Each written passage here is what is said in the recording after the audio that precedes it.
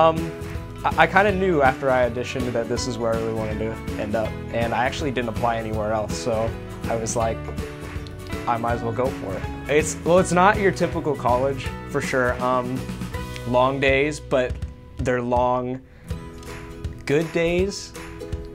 After the, after the long day's done, you're still, people are still going to think you're great no matter what, and people everyone else comes here and they all have their own different and separate talents, but when you all come together, you can create something great.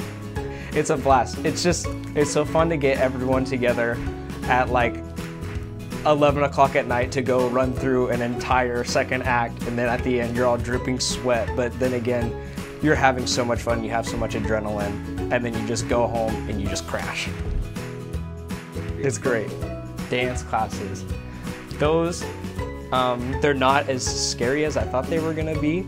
They they're all separate classes, but they all like complement each other. Like there's always different positions for each class, but somehow they all relate to each other. Everything's pretty relaxed. Like you can be yourself, and they're gonna help you out with whatever you need help with.